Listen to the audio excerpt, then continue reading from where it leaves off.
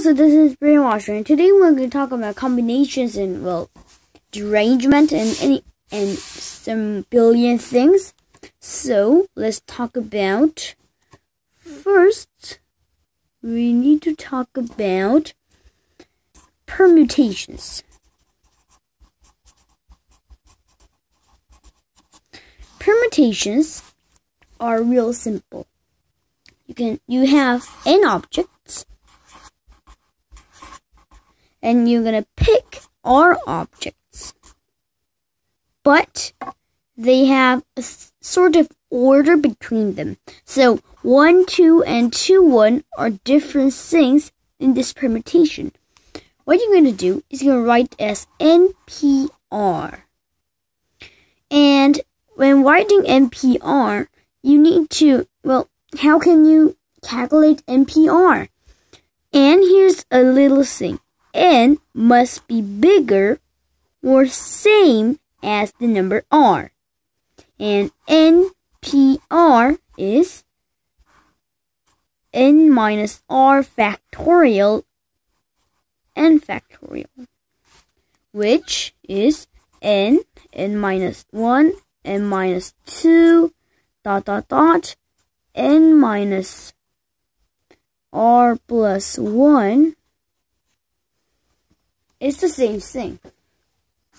But, uh, but here's a little clue too. This is why NPN, this is reasonable. Okay? So you have n objects. So you have three objects, and you're gonna pick three objects with order. That's three factorial. So 0 factorial is 1 because when n is when r is n, this is n minus n factorial over n factorial is n factorial over 0 factorial and this is n factorial. So 0 factorial should be 1.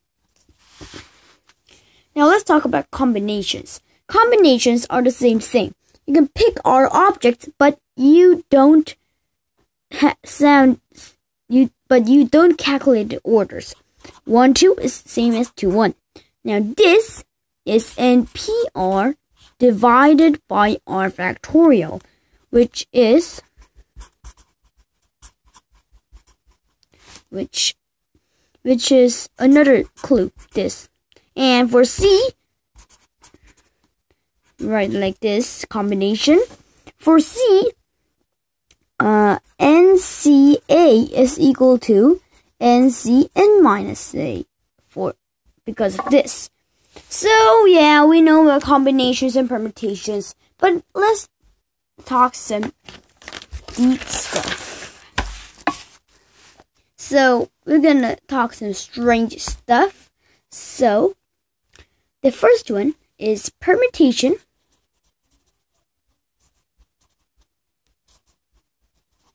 with with repetition. Now, permutation with repetition, it may sound a little strange, this letter. Permutation with repetition. This means it's real simple. You have repeti you just it's like permutation but you add repetition. It may seem a little hard, but it's real easy. You write it as n pi r, and it's equal to n to r. Yeah, it's real easy. So permutation with repetition is easy, but combination with repetition is hard. Combination with repetition is combination plus repeti repetition. NHR is N plus R minus 1 CR. The reason for this is because of, well, let's think about A plus B plus C equals 7. Now, if you want to find the solution of these ABCs while A is an integer and B is also integer, C is also an integer. And A, B, C are this. Now, the solution, how many solutions there are there? The answer is this, but why? Well, let's think about it. A is one multiple of A. So this, let's write it this. This little circle represents one, zero, zero, one, circle, circle, circle. So this is a little um, solution, one, circle, circle, circle, circle, circle, circle, circle. So these are lines, slashes. Slashes are n minus 1, but there are r.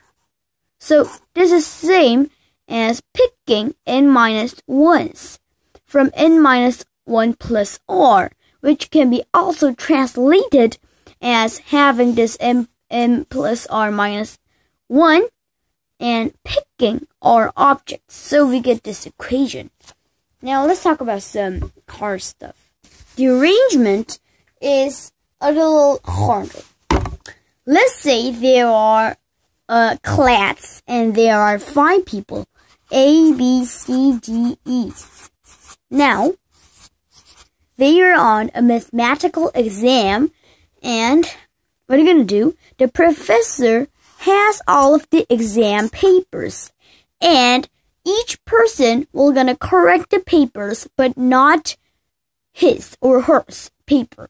So the calculation, well, is a little strange. There is not a direct calculation, but it's a little simple like the Fibonacci series, where an is an minus 1 plus an minus 2, the derangement of n objects will we call it as dn or factorial n or dn is well just do like factorial n minus 1 factorial n n minus 1 plus factorial n minus 2.